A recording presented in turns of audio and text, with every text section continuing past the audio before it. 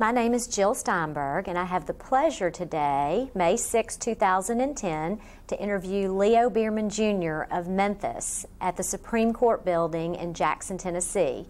This interview is taking place as a part of the Legal History Project of the Fellows of the Tennessee Bar Foundation.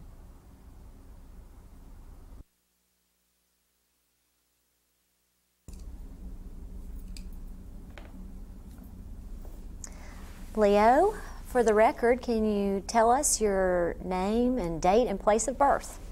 I'm Leo Bearman. I was born in Memphis, Tennessee, August 20th, 1935. well, tell us about your parents and growing up in Memphis. my parents, uh, my father was born in St. Louis, my mother in Memphis. My father practiced law for about 65 years. My mother was a librarian for a while at what we used to call the Cossitt Library, and now it's the Memphis Public Library. And uh, I guess I had a normal growing up life in Memphis. And Lived here all my life. And your father was also Leo Bearman, is that right? Correct. And what was your mother's name?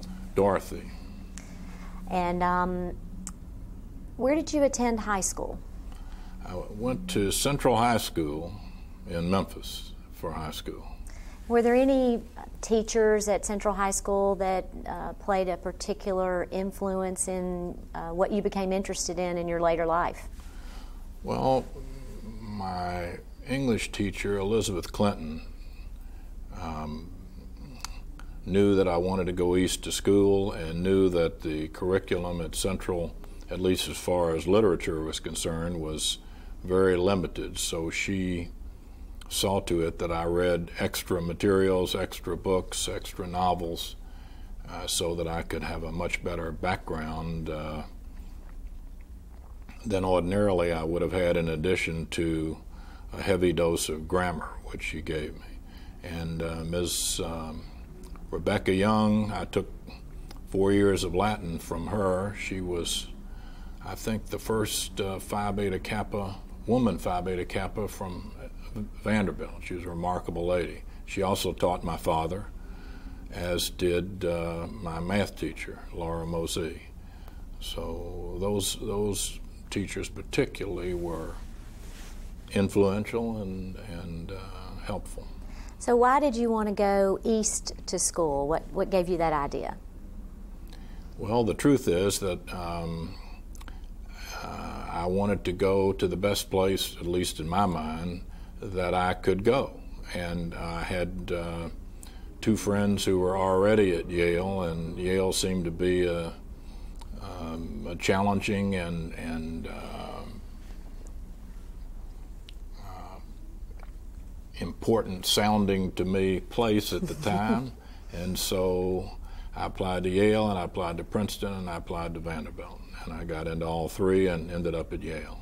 And tell me about your years at Yale and what were what were the most important aspects of attending Yale that influenced your life later?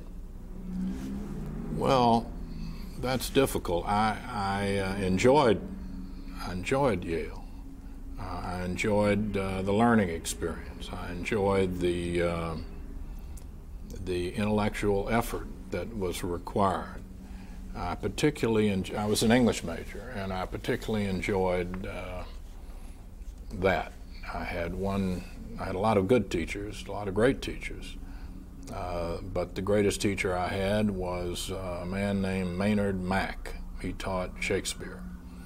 And he was dynamic, he was mesmerizing, spellbinding, and uh, instilled in me a love of Shakespeare that's never left me when you he taught Monday, Wednesday, and Friday, and if your date came in, in those days Yale was all male, no female. um, if your date came in early on Friday, she had to go uh, with you to Professor Mack's Shakespeare class because you wouldn't miss that under any circumstances. He was a very great teacher, and um, I still read Shakespeare and I still study it and I still teach it to some extent. So that was certainly one highlight. Did you know that you always wanted to go to law school? Yes. Uh, after I got over the uh, idea of being a cowboy and um, and a fireman, probably, although I don't even recall those, I always wanted to go to law school. and My father, of course, was a lawyer, and um, never occurred to me to do anything else. And why did you choose Harvard Law School? Well, probably the same reason that I chose Yale undergraduate, and that is that I thought at the time, and I think it was true, that Harvard was the best law school in the world if I could get in. And so I applied to Harvard and I applied to Yale and I applied to Vanderbilt again, and I got into all three, and fortunately, and was fortunate enough to be able to do that, and so that's where I ended up. Now, was that an unusual thing to go from, you know, Harvard and Yale are, are competitors? Not, not really. Um, some people um, did the opposite. Some people went from Harvard undergraduate to Yale Law School, and um, Yale was thought to have a different uh, uh, philosophy of teaching uh, law than did Harvard, and in those days, I can't speak to the circumstance right now. And um, so I, I, felt that if I had a chance to get to Harvard, uh, that's where I wanted to go. So fortunately, that's where I ended up. So tell us about your experience at Harvard Law School. Um, very intense, very pressurized. Um, there were an awful lot of very, very bright people there, and the competition was fierce, very fierce. Um, the pressure was very great. Uh, people were competing for grades because they were then competing for um, job positions. Uh, and uh, so the competition and the uh, pressure was high, and, um, and it, it stayed that way all through, all through three years. Was there ever any stigma uh, being from the South or from Memphis when you were in school in the East? Uh, other than occasionally, um, I never thought I had much of a Southern accent and still don't.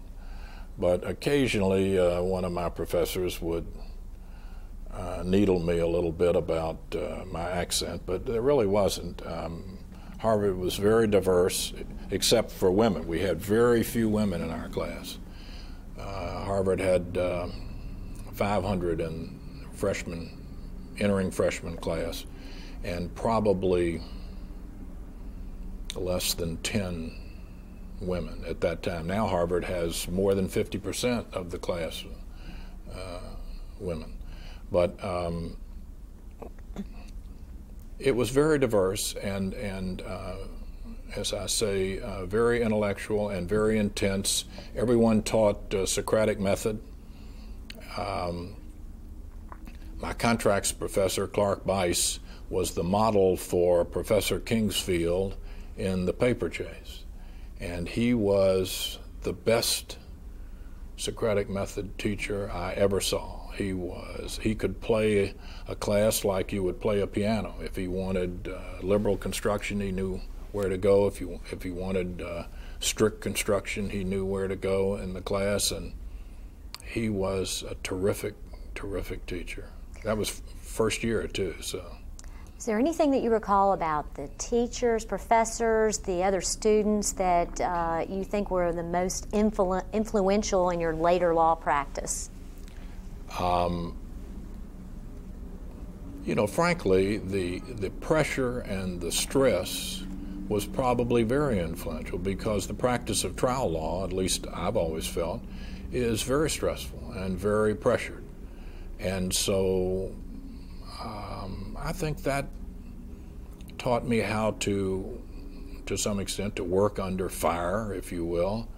Um, the uh, intellectual effort required to do well uh, probably helped considerably in forcing me to want to do the best job I could possibly do on any kind of work that I was doing in in my career. And I think all of those and of course the teachers were great.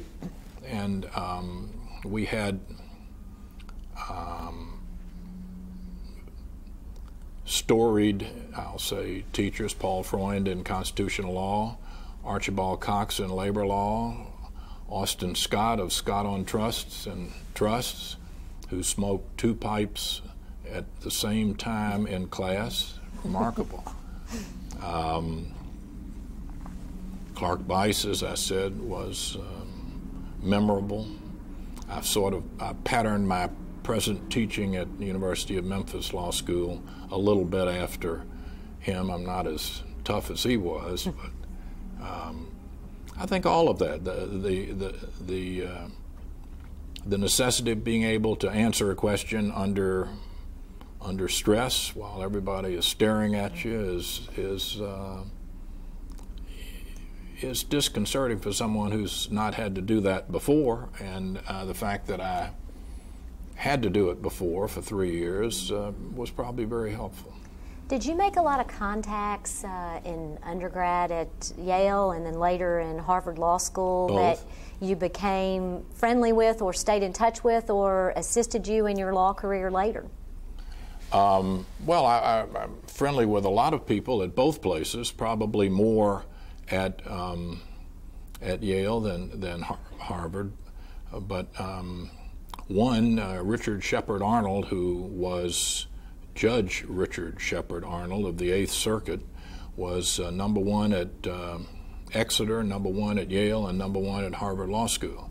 He he was the greatest legal mind I ever encountered, and we stayed friends. Uh, after law school, he, as you probably know, was over in Arkansas, and and he and his brother were both on the Eighth Circuit at the same time, which was highly unusual.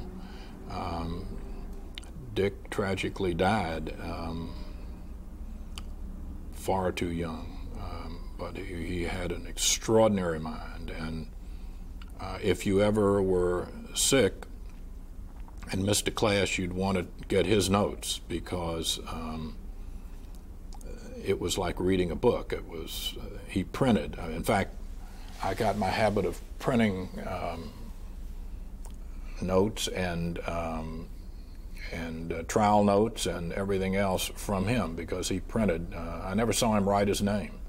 Uh, he was exceptional exceptional. Did, did your Harvard Law School contacts ever send you business later in your career? Some have, yeah, absolutely. I, have I've gotten some business um, from some. Mr. Justice Scalia was in my class, although um, I'm still not on the United States Supreme Court, as you well know, so that hasn't uh, done me much good. Um, Michael Dukakis was in my class. He later became governor of Massachusetts and was a presidential candidate, not very successful one. Um, but I, I yeah, I, I, get a lot of business from from those relationships. Absolutely. Well, before we talk some more about the uh, evolution of your legal career, let me ask you some questions about your family. Okay. Um, your wife's name is Joy. And what was her maiden name? Joy Magdovitz. Right. And she did she also grow up in Memphis? She actually was born in Clarksdale, Mississippi, and lived there for about a year, and then went to Hughes, Arkansas, and lived there for a few years, and then the family finally came over to Memphis. And when did you meet, or how did you meet? We knew each other from high school, and um, we were sort of buddies uh, in high school, but um, after um, high school, and we started dating when I was in college and got married uh, halfway through law school. So, how many years have you been married to Joy? 50. Wow. And you have three children, three is that children. correct? And what are their names? David uh, Bearman is uh, born in 1960. Edward Bearman is born in was born in 1964, and Amy Bearman Dorsey was born in 1968. And in fact, for the record, um, my birthday is August 20th, Joy's is August 25th, David's is August 12th, Eddie's is August 17th, and Amy's is August 13th. Wow.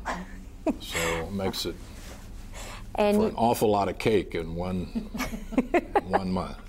and you have grandchildren, I know. do. How many grandchildren do you have? I have seven. David has three children. Amy has two, and Eddie has two. And were any of them born in August? No, they weren't. I guess they got tired of that idea. None of them were. Now, I know both Eddie and David chose to go to law school. Correct. Did you encourage them to do so? You know, I really didn't encourage it at all. I, I, I encouraged them to do what they wanted to do. Um, David started, uh, frankly, in the furniture business after. Uh, I think David really wanted to be a professional musician, but um, that didn't seem to last very long. Um, he's a great musician, but to do it for a living, I think he decided it was not a good idea. And he was in the furniture business for a while with my father-in-law, uh, and then decided he wanted to go to law school and said, "Can I?" And I said, "Sure."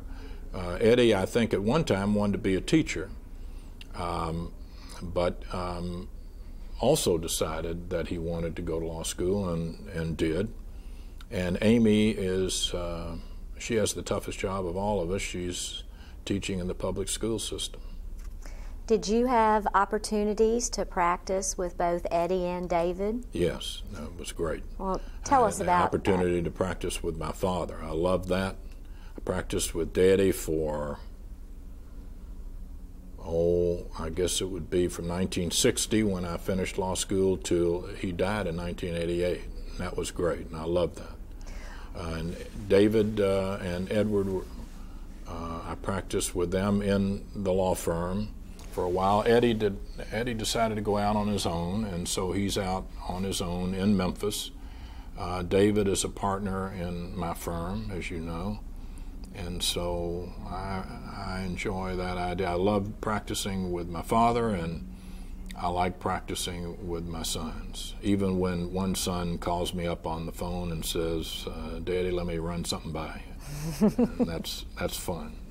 Well, we'll, I want to talk about the law practice in the law firm in a few minutes, but um, when you got out of Harvard Law School, did you think about doing anything other than coming back to Memphis? Uh, I didn't. My father did. D- uh, Daddy uh, encouraged me to stay up east with what he called, you know, the big time firms. Um, and I really didn't want to do that. I mean, I obviously had the opportunity to do it, uh, but I didn't even apply. All I wanted to do was come back and practice with my father, and that was the only goal as far as uh, how I practiced was concerned. So I never really um, considered practicing up east, even though he really did encourage me to to do that at least for a while. I didn't want to. I wanted to come back and practice, and so when I, when I graduated, I came back. And when when you him. came back to Memphis, you went straight to work with your dad. Right. And what type of a law firm? Uh, what kind of a practice did you have at that time? We had a very, very intense insurance defense firm, together with a general practice. I mean, we did. I, I did adoptions. I did. Um, I incorporated businesses. I didn't do any tax. I was smart enough not to get involved with that. Uh, but I had a, I wrote contracts. I, I, I probated wills. Um, I drafted wills. I did all that until um, those things became more complex than I than I was able to handle. Uh, but for a long time, when we practiced together, it was mostly insurance defense work. We represented a lot of insurance companies, uh, and so I was in court every day almost. And was it just you and your dad, or did you have anybody else in the law firm with you? Bob Burton, Robert Burton, had been with my father for a long time and uh, stayed with him. By that time, uh, my father had left Mr. Winchester and had been in his in the law firm of Leo Bearman, and Bob Burton was with um, my father. And when I came in, we also, after that, brought in some younger lawyers, although they were I was a young lawyer at the time as well and uh, from time to time uh, brought in other young lawyers, but we never had more than four people in the firm. But and so we had a very intense practice. We were in court all the time. Um, you mentioned it was a lot of work. You mentioned that your father had been in practice with Mr. Winchester. Was that Mr. Lee Winchester Senior? Senior, right? Lee and, Winchester Senior. And they were in the Commerce Title Building, and um, before that, my father practiced for a very short time with his two brothers, Joe and A.D. Bearman. Uh, but he left them to go with Mr. Winchester and then left Mr. Winchester to go out on his own in preparation for my coming with him. When you first began to practice law, do you recall anything about what kind of a salary you were making or how, how that worked? You know, you asked me that on the way over here, and um, I don't recall uh, the number $25,000 a year. Um, suggests that was probably more than it really was. Maybe that was just wishful thinking. Um, my father and I were always 50 50 partners, but his 50 always counted more than my 50, and that was, of course, appropriate. But um, what I earned was what he decided you know, to pay me. And so I'm not really sure, I don't recall exactly what it was, um, but it seemed to me uh, pretty sumptuous at the time. And, uh, you mentioned earlier that uh, you had a big insurance defense practice. Do you recall how it was that you charged the clients that you worked with? When, when I first started, um, we didn't have any hourly billing. My father, uh, and we didn't bill uh, the client until we finished the case. So uh, there was no interim billing at all. You, so there was certainly a uh, strong motive to get the case tried and, or settled and, and get the bill in. Um, my father would look at the file, think about uh, what was done, think about what the result was, and send in a bill. I never figured out how he did that, um, but I never was aware of any client that ever objected to a bill he sent in. And when the insurance companies finally said, we've got to have hourly rate billing, my father really protested. He did not like that idea. And I said, Daddy, we're going to, we forget half the stuff we've done on these files. We're going to do a lot better with hourly billing rates. And, of course, we did um, because we kept track of what we were doing all the time instead of trying to remember it at the end of a case.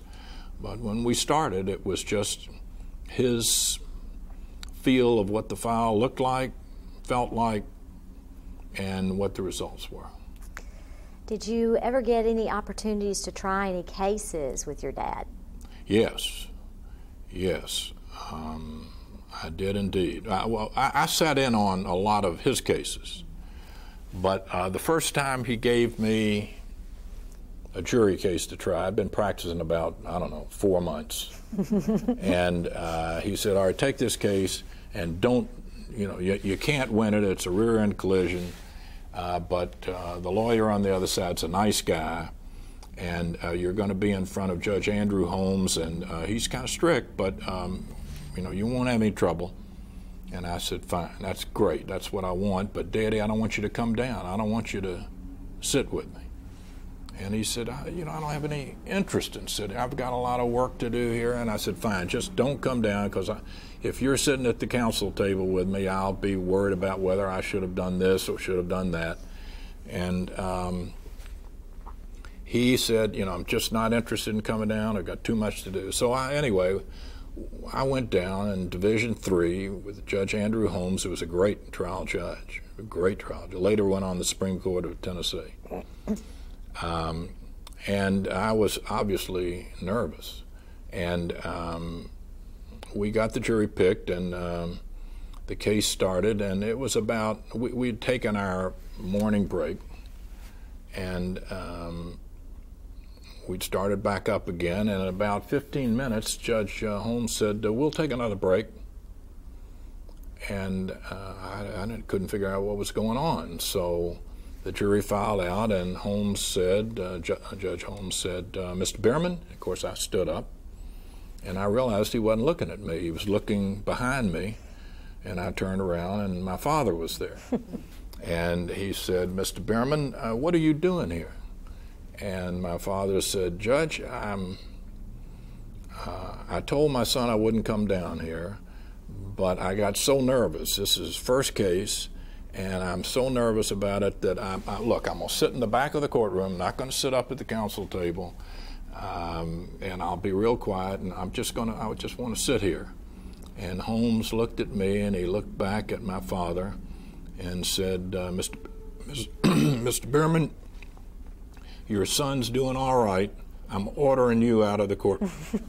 and my father laughed just like you just laughed. And Holmes looked sternly at him and said, Mr. Bearman, apparently you didn't hear me very clearly. I said, I'm ordering you out of the courtroom.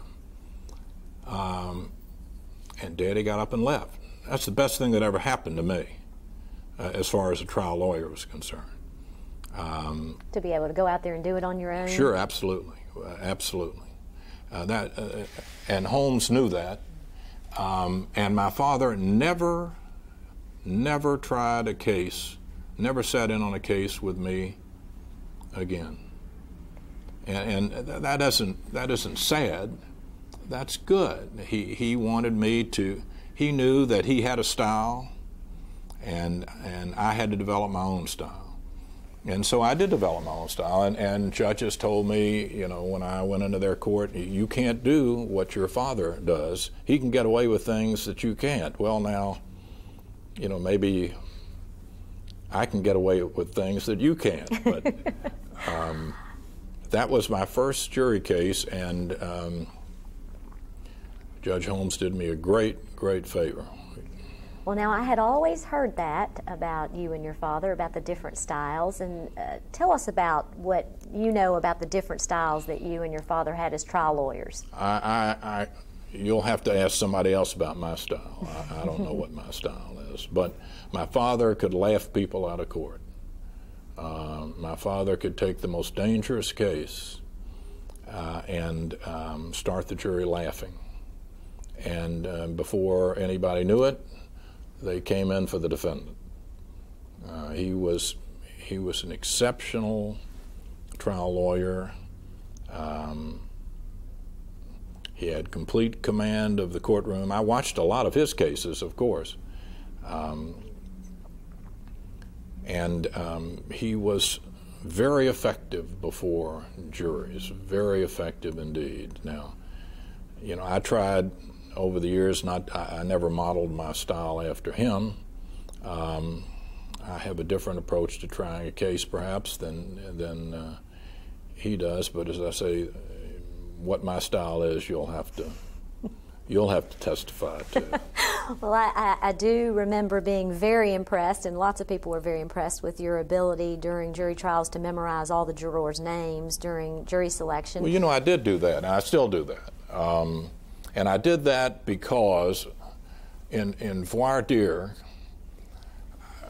I was a young lawyer in those days, a long time ago. And, and I felt that most of the lawyers who I would be up against were older, and that the jury might say, well, you know, if this is a close question, we'll go with the more experienced uh, lawyer. I didn't want that to happen, obviously, because I was not the more experienced as a rule. I was the young guy. And so I got the idea that when they put the jurors in the box, I would remember their names. People like to have their names remembered. And so I would be able to go down uh, the row and say, Miss Bernstein, Miss Steinberg.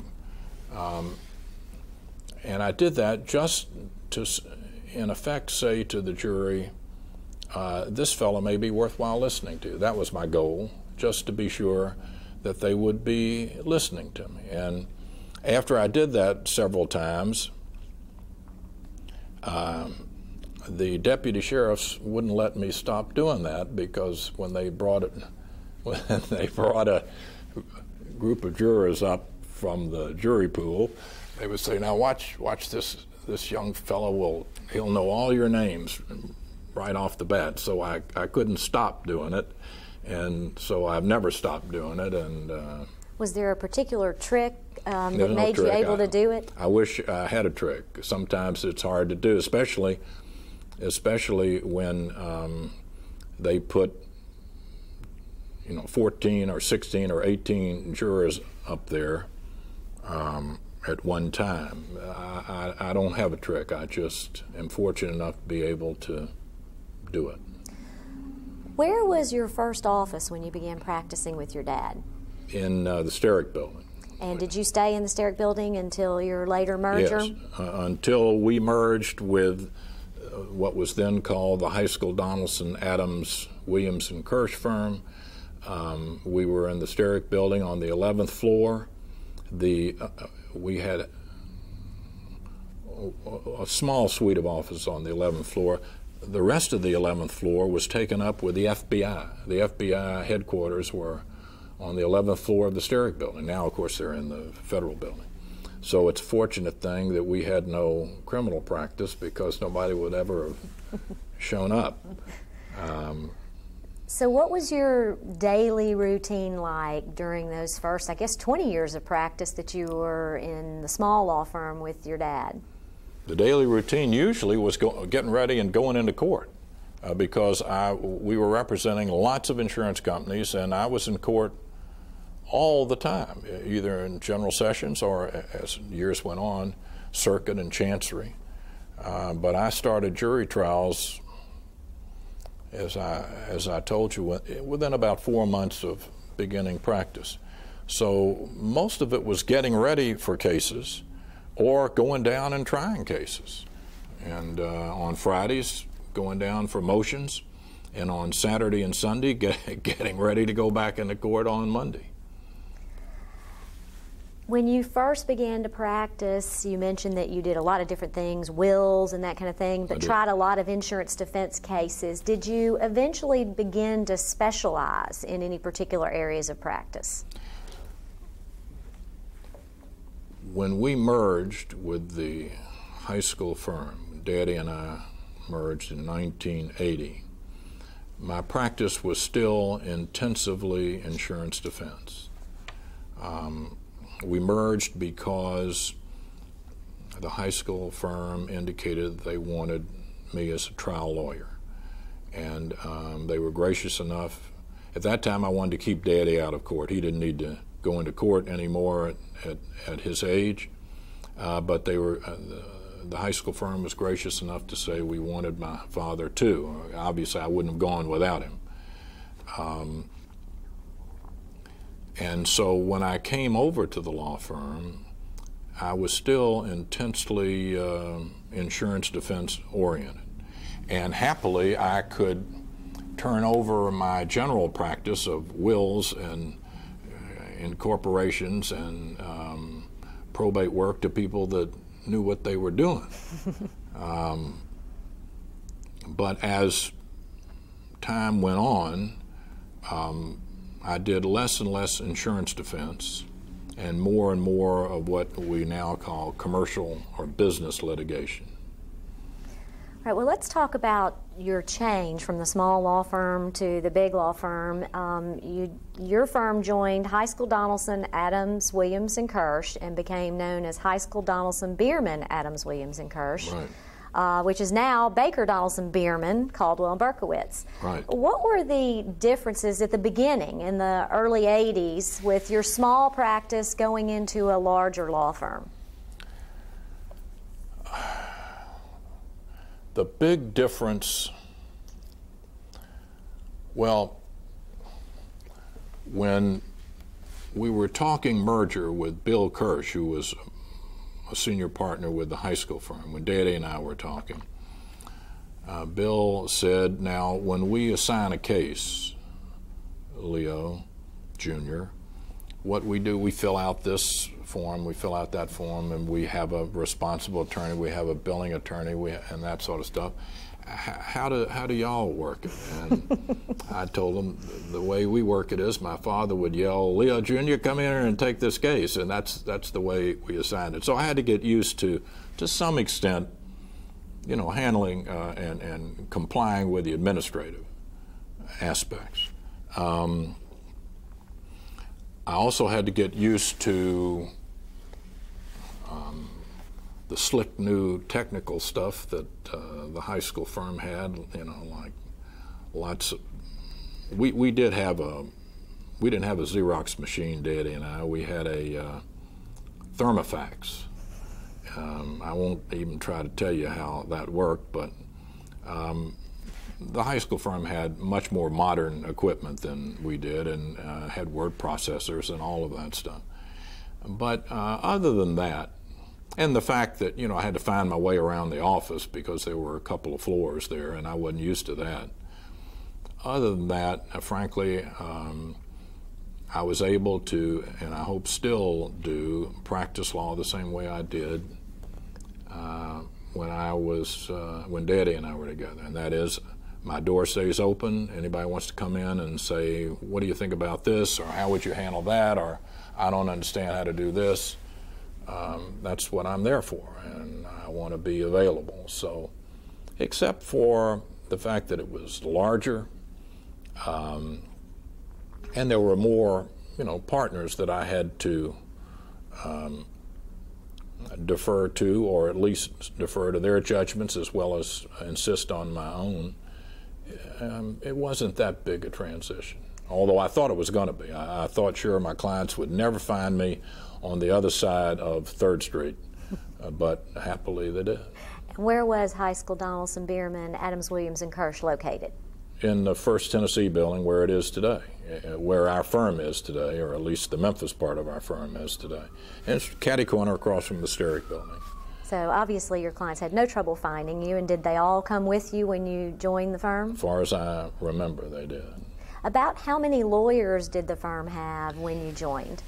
I think in those days when I first started, Jill, we had maybe 16 or 18, maybe 20. I, I really don't remember exactly. We had a couple of floors, um, probably around 20. We brought over four people. Daddy uh, came over, I came over, Bob Burton came over, and Jerry Potter came over. Well, I know in 1985, when I joined the law firm, we had about 45 lawyers. Um, and since that time, there's been a lot of growth at now over 500 lawyers right. and offices all over Tennessee and the South. Uh, how has that changed your law practice and your perspective on practice of law? Well, the first difficult thing is that naturally I know the name of every single one of my partners, associates, and uh, and uh, people on the staff. Uh, how has it changed? It's given me greater opportunities for major type of litigation. It's given me um, greater opportunities for very excellent assistance and, and support, not just from um, lawyers in the firm, but from staff in the firm. Really, uh, it's a remarkable law firm, and it's a remarkable group of people. And uh, it's given me great opportunities uh, to represent um, major issues, more uh, significant constitutional questions than I had before, uh, more complex questions, more complex litigation than I had ever done or been able to do before. So it's been certainly a great opportunity for me. Now, Leo, a big part of your career has been focused on trying lawsuits. Right. Um, how has the trial practice changed since you first began practicing law?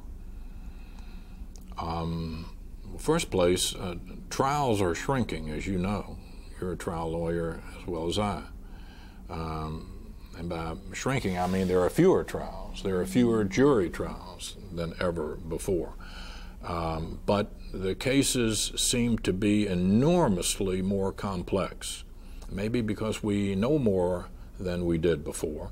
Maybe because the cases uh, are much more complex in and of themselves. For example, there, there weren't there weren't there weren't many class action cases when I first started practicing law. Certainly not in the areas that I was working in. Um, now uh, that's a usual thing.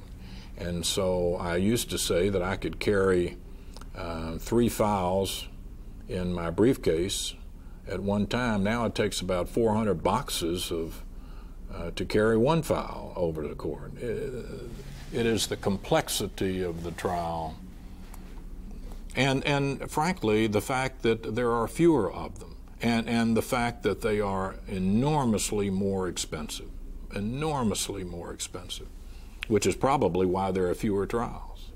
What are some of the important and interesting or challenging cases that you've worked on in the last several years? Hmm.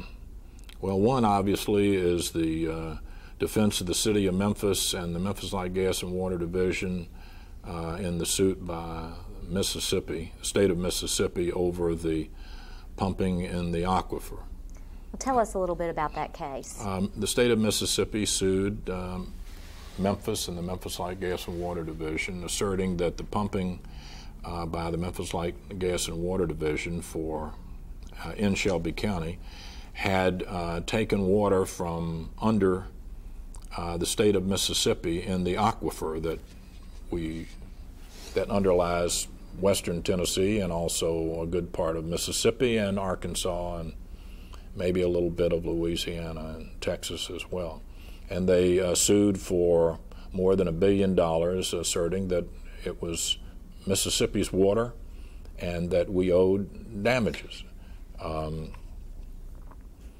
that case went to the Supreme Court. Um, is that the United States Supreme Court? Yes, we, we asserted that uh, at the trial level that the case could not go forward because Tennessee was an indispensable party, and um, if Tennessee were joined as a party, that would be state versus state, which would uh, set the jurisdiction, original jurisdiction, in the Supreme Court of the United States.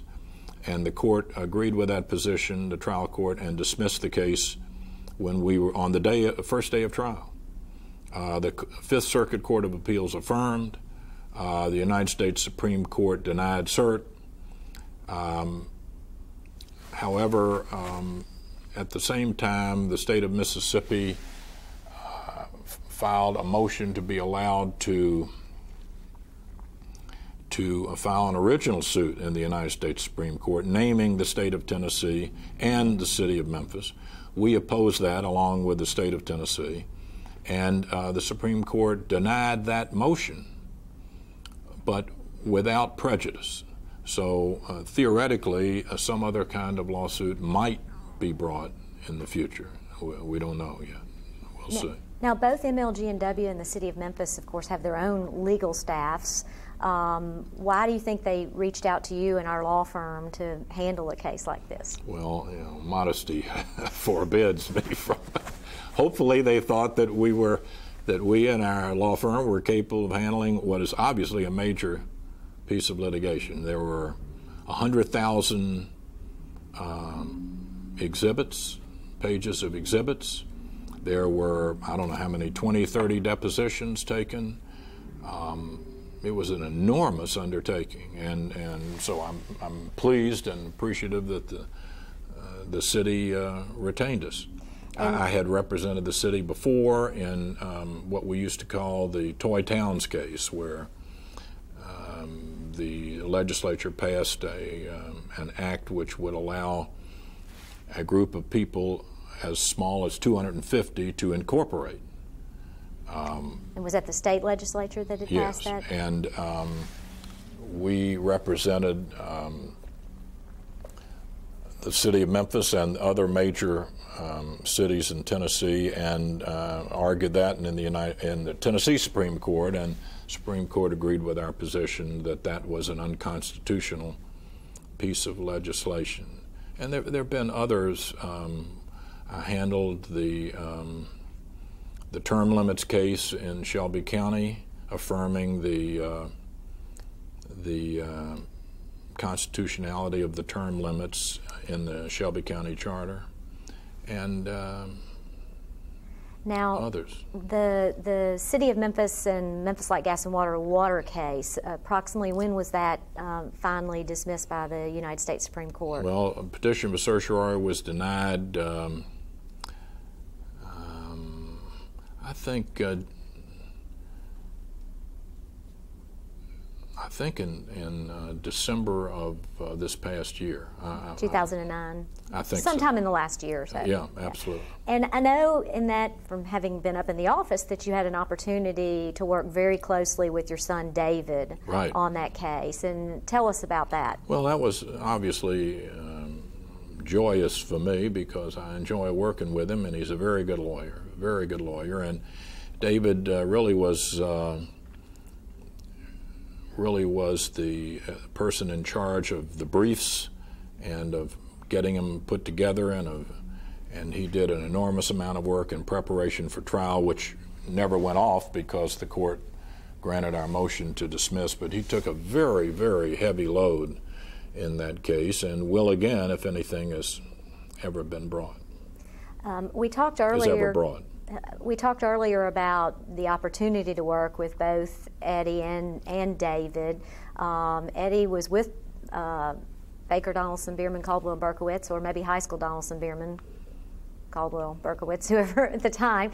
Um, what kind of things did you get to work with Eddie on, or has it been mostly just giving him advice as he's? Well, it was both. It, um, it was both. Um, uh, when, when he had questions or comments or concerns about how a particular matter ought to go, um, we'd talk. Uh, if I never tried a case with him either, um, I told him if he wanted me in the courtroom, fine. But if he didn't, uh, I would understand that. Of all people, I would understand that. So. Um, he did a lot of, uh, of uh, defense work for us before he went out on his own. Now, Leo, you've been recognized by, um, I don't know, maybe several magazines and other uh, awards uh, type um, groups as being the kind of lawyer that people go for bet the company litigation. Uh, what kind of cases have you worked on that would be bet the company kind of litigation? Well, I've, I've named a couple for you um, the water case, the um, term limits case, the um, the Toy Towns case. I've had some major um, um, work in um, in patent disputes. Um, I've had some very major work in personal injury, very serious product liability personal injury cases. Um, that kind of that kind of case, I assume they're talking about. And, and in addition to the trial work that you do, uh, you do a lot of appellate work, is that right? I do. And um, I know you've told me before that appellate work is one of the your favorite things to yeah, do. I enjoy that. I really do enjoy it. And uh, tell us um, what it is you like about the appellate work. Um, you know, that's a, uh, that's a hard question. I, I, I, like it because I like to uh, I've got a set of facts that um, raise certain legal issues, and it gives me a chance to stand up before three judges or five judges or whatever and um, set out uh, my position as clearly as I can, answer the questions as clearly as I can, and and uh, and um, persuade them as to the appropriateness of my position. I, I, enjoy doing it. It's a it's a short, 30 minute sort of burst of uh, energy and and uh, intellectual effort, but it's uh, it's fun. I, I like uh, I like trading uh, a conversation with the court that way, and um, I'd much prefer to argue before a court that's uh, what we call active or hot than one that just sits there and says nothing. And um, I find that challenging. I enjoy it. Are there particular types of cases that you now like better than others? You know, patent versus product liability, or commercial or personal injury. Is there any? Well, I like you know I like all of them. Uh, I, I like I like constitutional questions. Obviously, I think those are historic in a way, and uh, they're going to have a much more, a much farther reaching um, effect than, you know, than a personal injury case. But um, I like them all, and they don't have. It, it isn't necessary that they be so complex. um, as it is that they be you know, important to the client. I, I, do a lot of, of defense of lawyers who are, who are accused of disciplinary um, infractions. Um, I can't say I enjoy that, but I think I've got an obligation if lawyers call on me to do that to to do it. And so I've done a lot of that. I've done a lot of legal malpractice cases as well as um, medical malpractice and and um, other kinds of professional malpractice. But I don't have any necessary favorite unless you could say constitutional issues are always fascinating. Always. Now, on the legal malpractice and the medical malpractice type cases, you've always been on the defense side, is that right? Pretty much. And Pretty much. Um, in terms of those professional malpractice cases, what do you think is the most challenging aspect of those? Learning, um, learning, you know, the technical issues. If it's a medical malpractice, um, learning what the medicine is all about that we're involved with. If it's a product liability case, uh, learning the uh, the physical aspects of the product that I'm talking about. Uh, I always thought that being an English major was a great advantage in a product liability case. Um, a lot of people think that uh, you know you need to be an engineer or a physicist. Um, it always seemed to me that um, being an English major was a great advantage because, uh, at least from the start, I don't know any more than the jury knows, and I know what the jury doesn't know, therefore. And so when I learn it, whatever the product is, whatever the whatever the technicalities of the product are, uh, that allows me to uh, see what the jury needs to understand in order to um, grasp my position. And allows you to be a teacher. That's right. Uh, we tried a case um, some years ago. You're right. It does allow me to be a teacher, which I like to do. Um, involving a, uh, bus accident um, and the law and a tie rod which broke, and we built the front end of the truck in the courtroom, so that the jury could turn the wheel and watch how the tie rods worked and how they tied in the two wheels uh, so that we could better explain to the jury uh, and show the jury that we didn't have anything to hide. That was fun. That was that was instructive, and uh, I like to do that. And you're right. I like to teach, so it gives me an opportunity to do that. And we're going to talk in a few minutes about your teaching, but let's take a break right now. I think it's a good time to do that. Okay.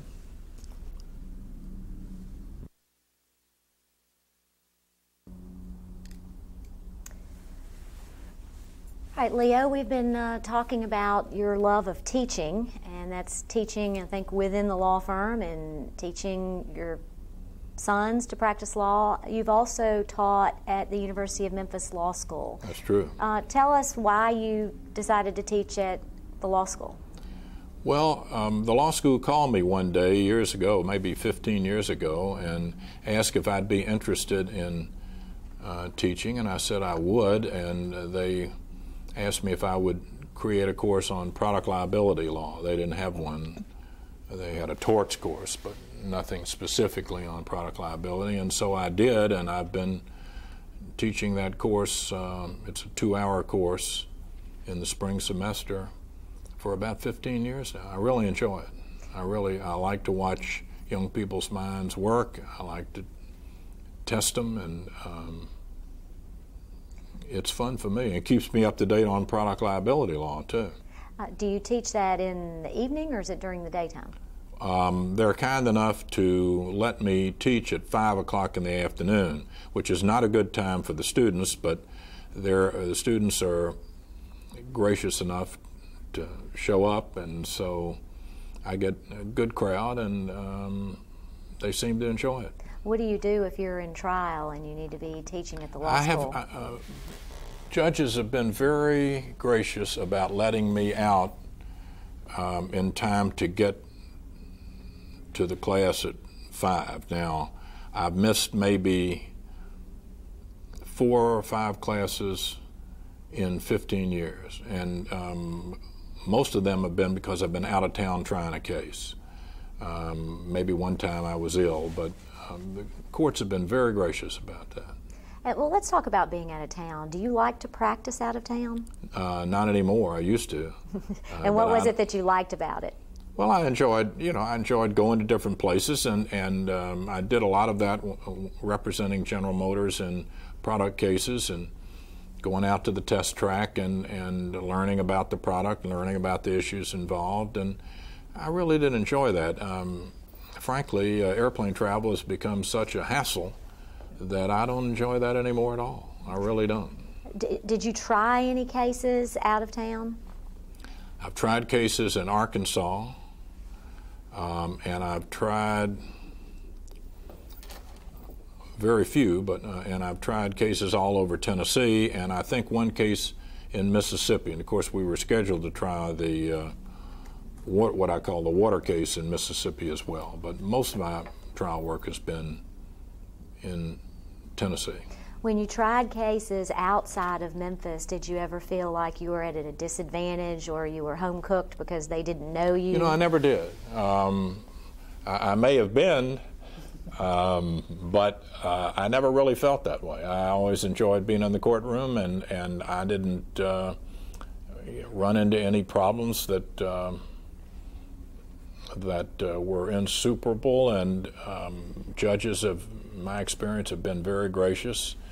Um, I enjoyed trying uh, or arguing this uh, water case for the Fifth Circuit. I'd never been to the Fifth Circuit before. Been Sixth Circuit a lot of times, but um, I've never really sensed any home cooking.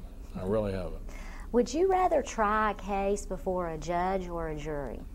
Jury. And why is that? Because I think I can persuade them.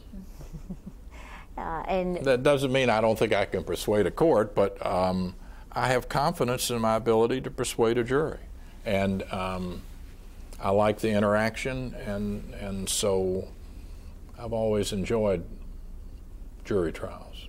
They're harder, they're they're more stressful, um, but I, if you give me a choice, I'd prefer the jury.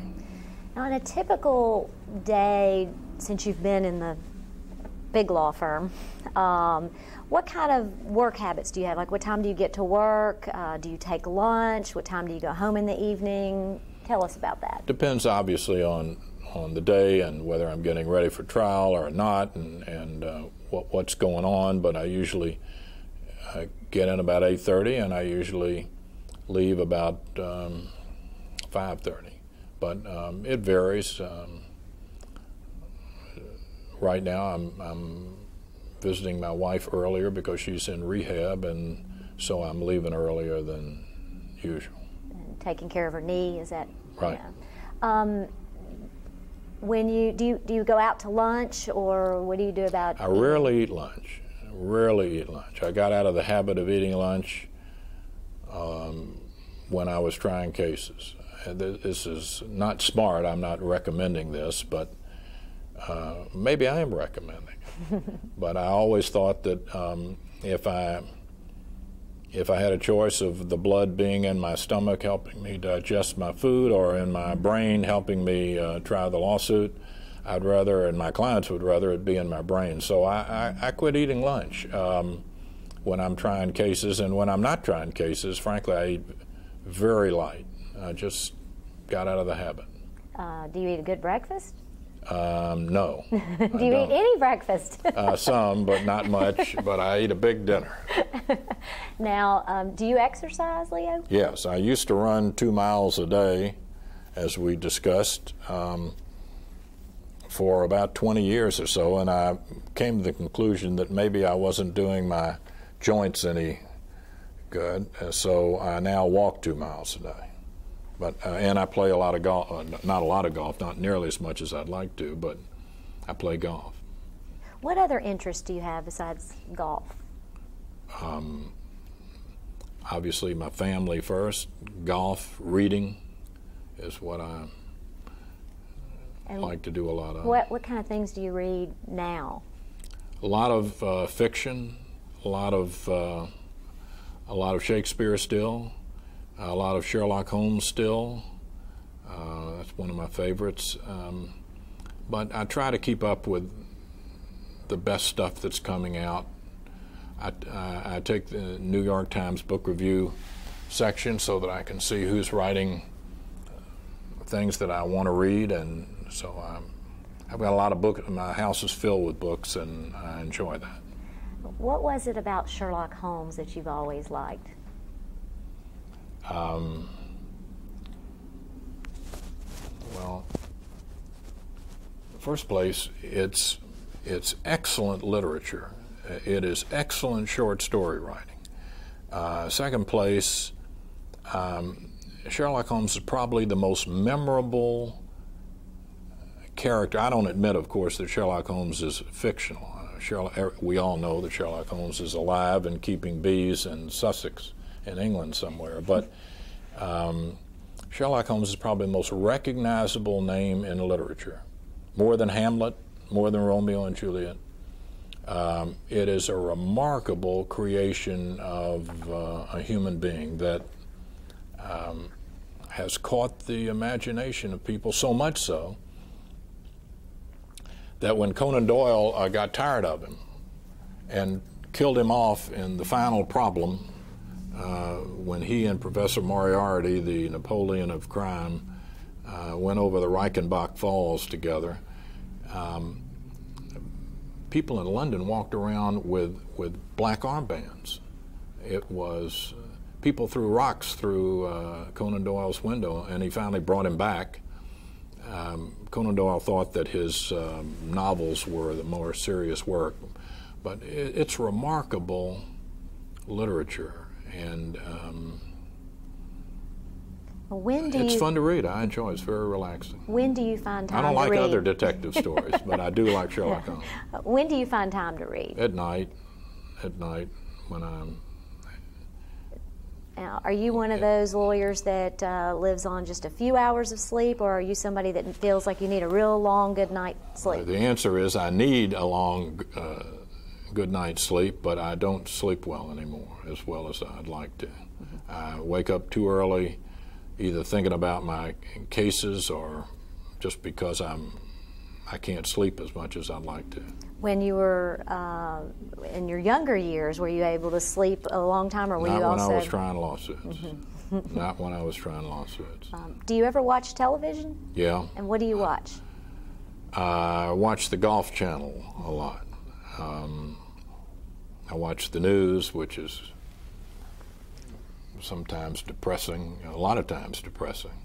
But I, I like to watch the Golf Channel and some of the shows. I, I, I quit I quit watching uh, lawyer shows. I used to watch them all the time, uh, particularly because I thought that uh, jurors uh, would watch them and that it was important that I know what the jury is looking at. Um, so I So why did you quit? I spent a lot of time doing that. Um, I don't enjoy that much anymore, but jurors do watch television, and they and they do believe what they see uh, on the lawyer shows and the detective shows, and so I think you, if you're going to do, if you're going to try cases with jurors, you got to know what they're looking at. Do you read uh, any newspapers? Uh, the Commercial Appeal and a little bit of the New York Times. Do you ever take work home at night? Yes, I used to take. I used to do a lot more than I do now, but um, I used to do it all the time, and that was tough on my family. But um, there was just so much time I could spend on things, and when I was in the middle of trial, I wanted to be sure I was totally ready for the next day, and so absolutely I took stuff home, and still do when I have to. And what about working on the weekends? I don't like that, but I do when I have to. Did you try to save the weekends for golf? Try to. Try to. If it ever quit raining, I, I might get more in. All right, uh, Leo, we were talking earlier about your teaching at the University of Memphis, and when we were talking about uh, being uh, practicing in a large law firm, you talked about having an open door policy. Uh, tell me what uh, that open door policy means to you, and what experiences you've had with that. Well, I, you know, as you well know, um, my door stays open to my office, and I expect young lawyers to come in and say, What do you think about this? or older lawyers, um, and ask my judgment, and I'm flattered when they do, and I'm and I try to give them my best judgment. But I think that's part of what I'm there for, and so. Um, I, you know, I can't think of specific examples, and some examples I wouldn't give you anyway.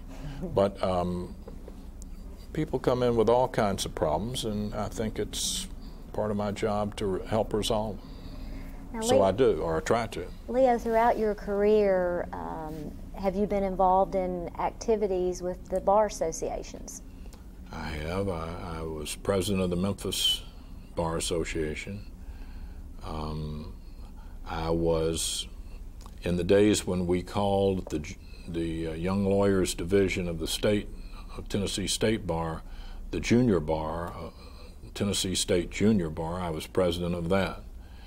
Um, I've um, I've served on on the uh, commission to write the rules of evidence for the state of Tennessee, and I've served on the um, commission to revise the uh, the uh, rules of civil procedure for the state of Tennessee, and both of those were enjoyable and and hopefully helpful to the bar. Now, why, why did you think that bar work was important? Why what? Why was bar work important to you? We, the, the bar speaks very often for my profession.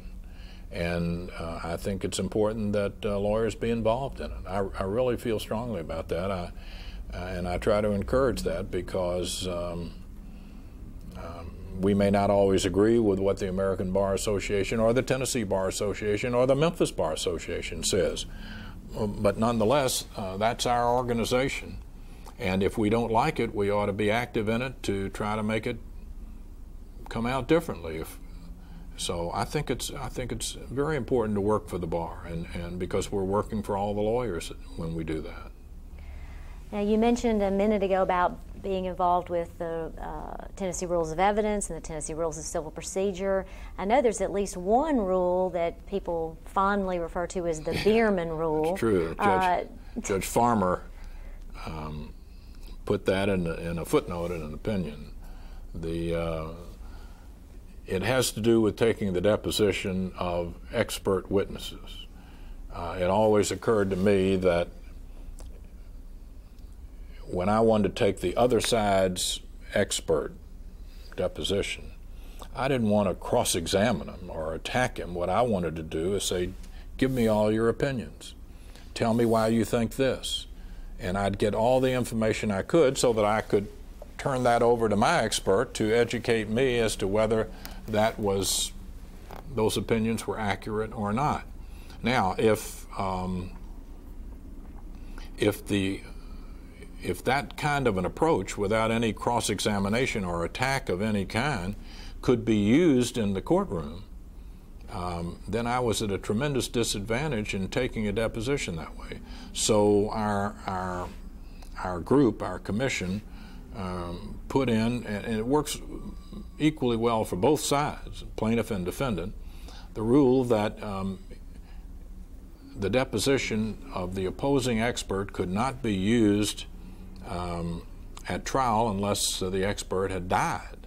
And so that protected. I'd had courts uh, allow me uh, to do that before.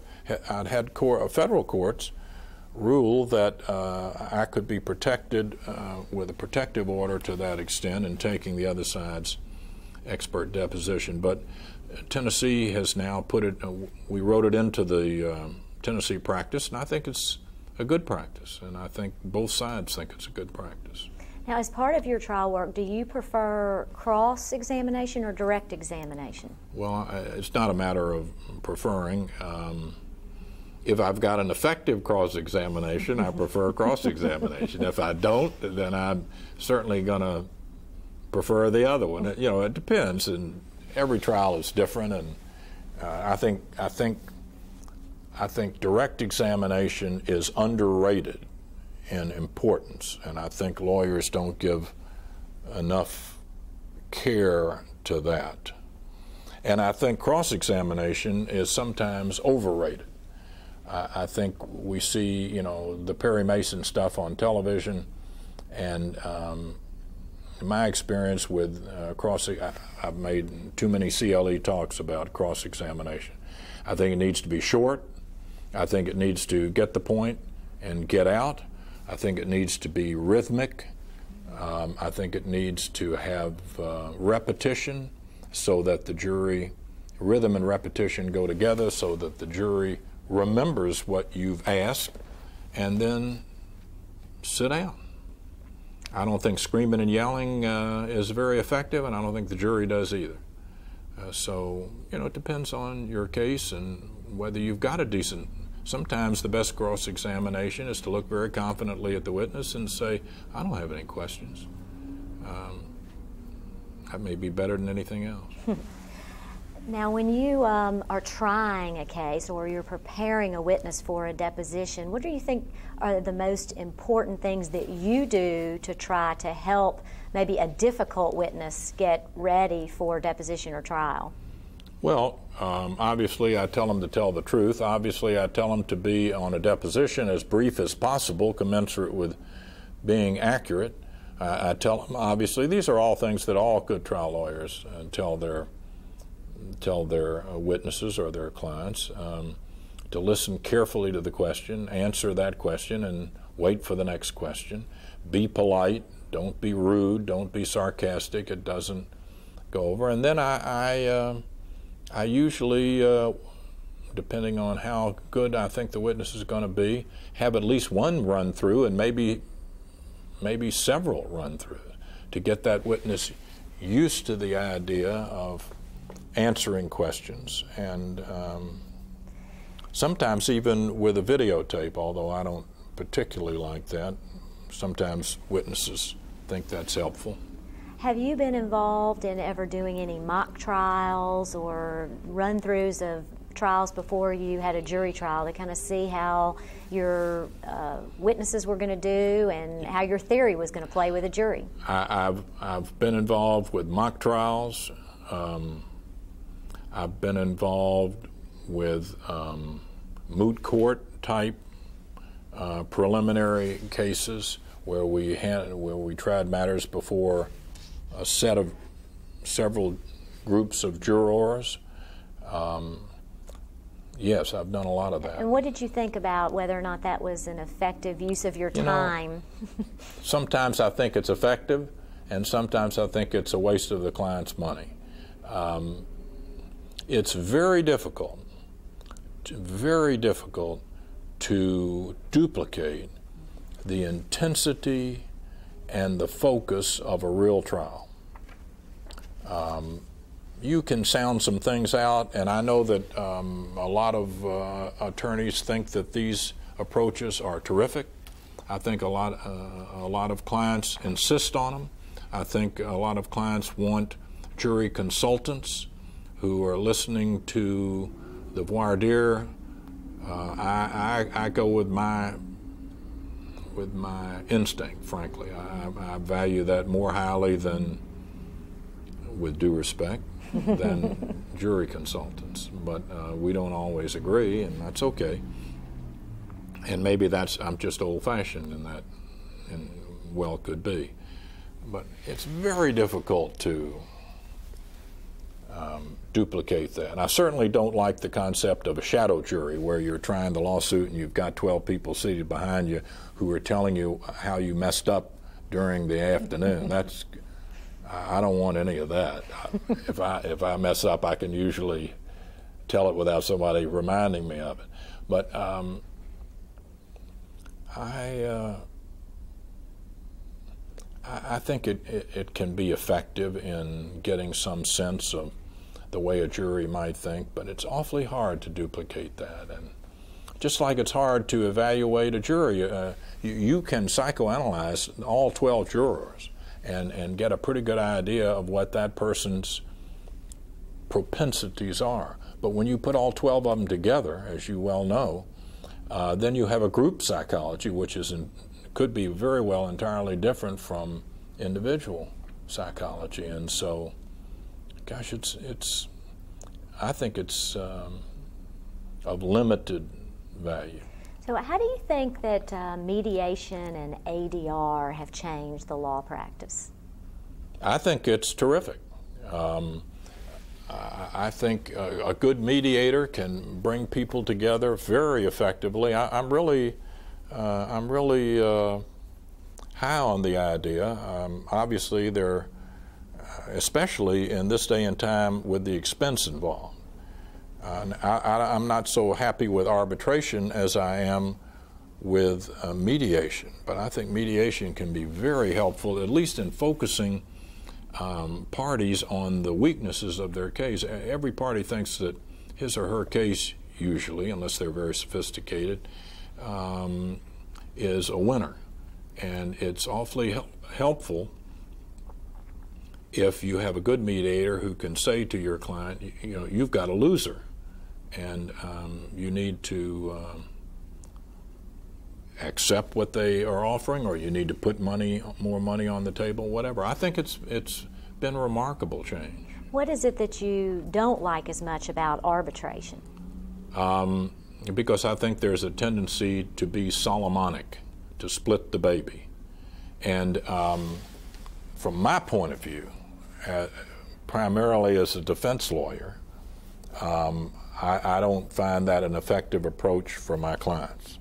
Um, on top of which, frankly, uh, my experience with arbitration, I know this is heresy, uh, has been that it's very expensive.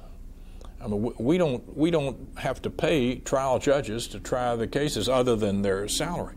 But if you've got an arbitrator, you're paying that person, and maybe you have three arbitrators, and you're paying three people uh, who could be very expensive to um, to make a decision. There are also certain limits on arbitration that I don't like. Um, some arbitrating arbitration rules preclude extensive de- deposition work. I understand the reason for that. It's to hold the cost down. On the other hand, if you have a major trial with a lot of money riding on it on either side, it's a tremendous risk to do that without a full um, feeling for what the case is all about, full knowledge of the case. So I, am not, I'm not as big on arbitration. I've done it. I've arbitrated a case uh, as as the arbitrator, but I, uh, I think mediation is much more effective. Leo, how has technology changed the practice of law? And do you use technology at all? Well, I, as you know, I'm not a I'm not a big uh, I'm I'm not a big technology expert. That's putting it very very mildly. I do have a cell phone. That's as far as I've gotten. Uh, but obviously, technology has uh, the computer process um, is essential if you've got a major trial. Um, in the water case, we had 100,000 documents on computer ready to use and ready to print out. There was just no way we could have handled that uh, effectively without a computer. And so it obviously has changed things. On the other hand, if you think in terms of uh, e-discovery, it's frightening. That is fright. it is. It's frightening, and it's enormously expensive. Um, do you have a computer in your office? No, I so do not. How do you get your emails? Uh, my secretary prints them all out for me. You're now revealing my deepest, darkest secrets that you, of course, already know about. Um, I don't like a having having a machine beeping at me all day, and so I. Uh, and I leave that to my grandchildren and my children. And when and you, my secretary. And when you are, are in trial and computers are being used, then your other partners and associates and other people are yeah, the absolutely. ones using I, the computers. I'm not foolish enough to say that they're useless. Of course, they're, they're, they're they become essential in a complex trial. And um, it's amazing to me, excuse me, that we, we could be in, uh, I can think of one patent case that we were trying, right in the middle of it, and um, one of the lawyers on my side could uh, text message back to um, the uh, people in my law firm who were checking out a particular case or checking out a particular issue right there while we were still in the courtroom. It's remarkable, and and and it's it's fine. I'm I'm not adept at it. That's all, but I've at least got enough sense to surround myself with people that are. So now, when you get an email, do you how do you respond to the email?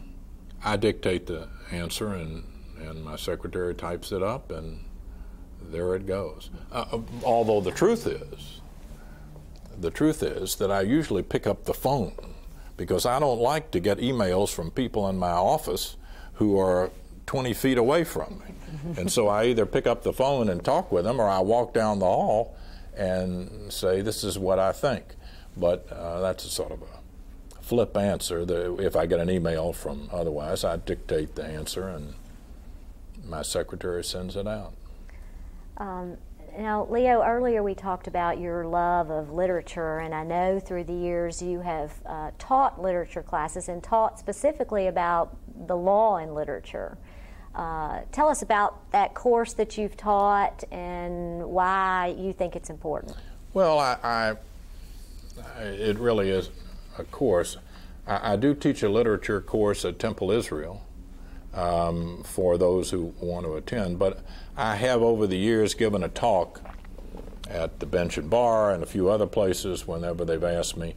Um, I've collected some pieces of literature about law uh, because my argument is, and I'm deadly serious about this, um, we are, as lawyers, communicators. That's what we do. Now, we may communicate with a jury or a judge. We may communicate by writing a contract. We may communicate by um, creating a corporation, whatever it is, we're communicators.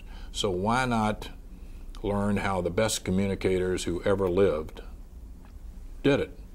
And my judgment is that the best way to do that is to read great literature. And so that's my premise, and, and in making that little presentation, I uh, have six or seven or eight excerpts from uh, literature about the law um, and read it, and they and people seem to like it, and nobody's booed me yet, and so uh, hopefully maybe I'll do it again sometime. Are there some specific books uh, that uh, have a legal theme that you really think that everyone ought to read? Sure. And what are uh, those? Merchant of Venice, uh, Shakespeare. Bleak House, Dickens, um, Crime and Punishment, um, um, Faulkner's, it's escaping me right now. Um, the Devil and Daniel Webster, short story by uh, Stephen Vincent Benet, is terrific. Uh, is terrific. Um, any um, any work by John Mortimer, uh, Rumpole of the Bailey. Um, there was a series of short stories that came out in the 20s. This is before my time, please. Um, written by uh, an assistant district attorney in New York City called Arthur Train. And he wrote stories about a ramshackled, uh, Lincoln esque type lawyer named uh, Ephraim Tutt. And Mr. Tutt um, always was on the right side of the issue, and he always won cases, um, either criminal or civil, by some esoteric, unknown facet of the law. It's fun to read, and and um, Judge Greenfield Polk uh, put me onto that years ago, and gave me a volume of Arthur Train's work, and they're they're all out of print, but I've uh, I've uh, collected all the books, all the short stories now, and um, they're wonderful to read, and that's good stuff. Um, that's good stuff, and there are a lot of there are a lot of um, terrific uh, short stories that are available. Um, Scott Turow writes very good stuff, uh, legal stuff. Um, uh, Leo, several times you've mentioned various judges that you practiced in front of. What do you think of um, the relationship between the bench and the bar? Has it changed over the years? I don't think it's changed that much. I, I think maybe the bench and bar are a lot closer, at least in Shelby County, than perhaps they used to be, and probably the the uh, bench bar conference has a lot to do with that. Um, probably, um, well, maybe even the age of the judges being younger than perhaps they were when I started uh, has something to do with that. I'm not sure. But I think the relationship is pretty good. I really do. At least in Shelby County. I can't speak for anybody else. Leo, you've had at least two major honors by your peers. Um, first, being one of the first recipients of the Lawyer's Lawyer Award by the Memphis Bar Association and being named Litigator of the Year by the Tennessee Bar Association. Um, how did those uh, awards make you feel? Real good, of course. Real good. I, I'm, I'm flattered. I'm appreciative. Um, I, I, appreciate the recognition, um, and um, it, uh, it's incentive to um, strive to do better, frankly. Mm-hmm. And and what what was what is the lawyer's lawyer award? And as you've seen the recipients through the years, what do you think is important about being known sort of as the lawyer's lawyer?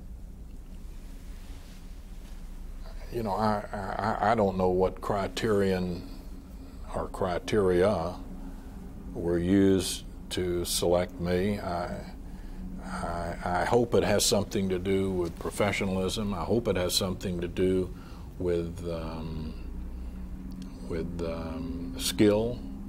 Um, I hope it has something to do with courtesy and camaraderie uh, among uh, lawyers and with members of, of the bench. Um, that's what I hope it is. Um, Leo, you've also I know, been involved in the greater community, not just the legal community, for years. Uh, why were you involved in the community, and what kinds of community activities were you involved in? Well, the truthful answer is that my parents uh, showed me that example. Um, my father was very active in the community, my mother was very active in the community, and um, they didn't say go out and be active in the community they um, set the example and uh, let me make that decision for myself. But I think it's important. I think it's important for lawyers to do that. We are uniquely trained to be effective leaders in the community. We are uniquely trained to do that. We, we are supposedly uh, rational thinkers, we are supposedly articulate, and we are supposedly well organized. Hopefully, that all that's true. And so uh, I think it's part of our obligation to go out in the community and do that. And I always have felt it important, and so I've done it. What kind of uh, community activities were you involved in through the years? Well, I've been president of uh, my synagogue. I've been uh, I've been president of the um, Memphis uh, Symphony. Um, I've been on the board of MIFA um, in Shelby County for several years.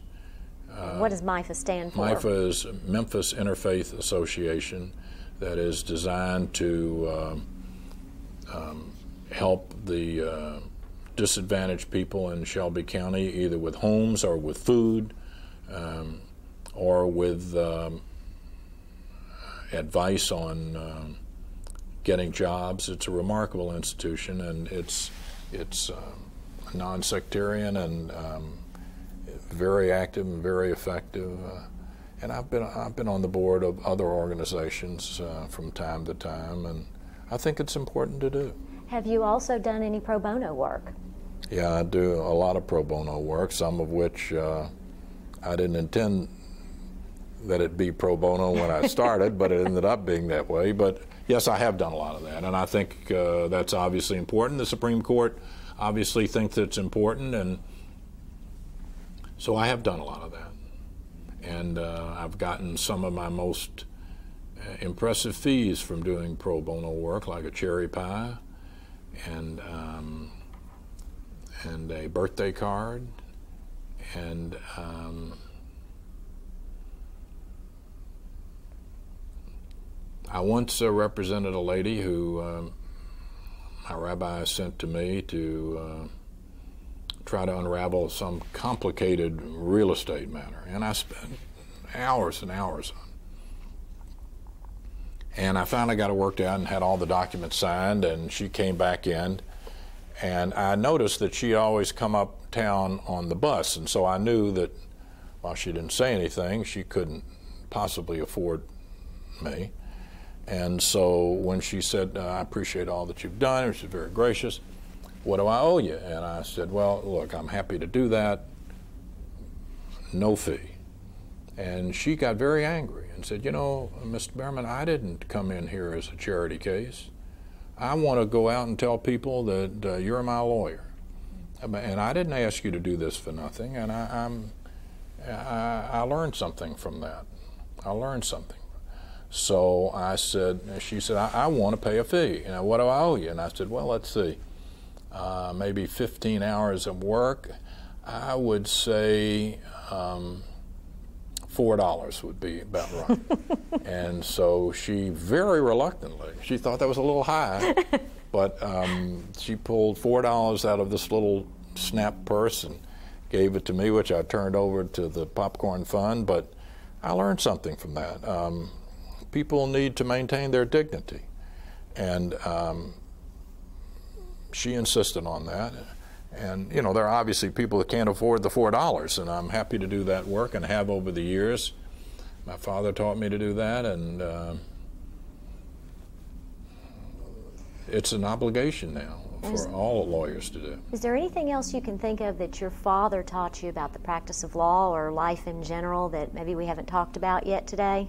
My father taught me a lot about the practice of law and a lot about life in general that we don't have the time or or the uh, amount of videotape left to talk about. But I can tell you a couple of things he told me. Number one, uh, be nice to the clerks. They can save your life. Uh, number two, when the judge gets ready to rule, sit down and be quiet. Never interrupt. Um, and number three, um, no matter how badly you're getting beaten up in the courtroom, you've got to look totally confident and totally at ease. I used to come home at night, uh, my legs were killing me. They were really sore, they really hurt. And I couldn't figure out why. I'd been sitting in the courtroom all day. I hadn't been running or anything. And I realized that I was trying to do exactly what Daddy told me. I was trying to look very calm above the counsel table, but I was tensing my legs underneath the counsel table. So I tried to get out of that habit. But he taught me a lot about how to handle clients, how to approach lawsuits. Uh, I was very lucky to have him for the, my mentor. Very lucky. Now, Leo, you are very soft spoken. Do you ever get mad or yell or anything in terms of uh, what's going on at work? You're talking about on the golf course? Um, absolutely on the golf course. Um, occasionally in the courtroom, but you've got to have a controlled. You've got to have a controlled outrage. If you lose your temper in a trial, you're going to lose the trial. You can't can't lose your cool, lose your temper.